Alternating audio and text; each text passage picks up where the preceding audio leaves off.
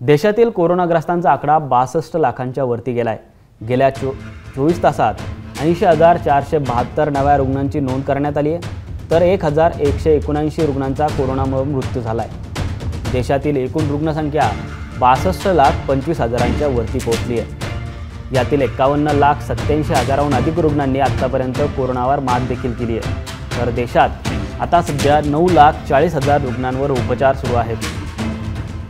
भारतात आतापर्यंत कोरोनामुळं सत्त्याण्णव हजार चारशे सत्त्याण्णव रुग्णांचा मृत्यू झाला आहे दरम्यान भारताची कोरोनाविरोधातील लढाई देखील अधिक तीव्र झाली आहे. देशात आतापर्यंत सात कोटी एक्केचाळीस लाखांहून अधिक कोरोना चाचण्या करण्यात आल्या आहेत. विशेष म्हणजे यातील दहा लाख शहाऐंशी हजार सहाशे अठ्ठ्याऐंशी चाचण्या या मंगळवारी एकाच दिवसात करण्यात आल्या आहेत. एकीकडे कोरोनाचा प्रादुर्भाव मोठ्या प्रमाणे वाढत असताना देशात कोरोना चाचण्यांची संख्या देखील वाढली आहे.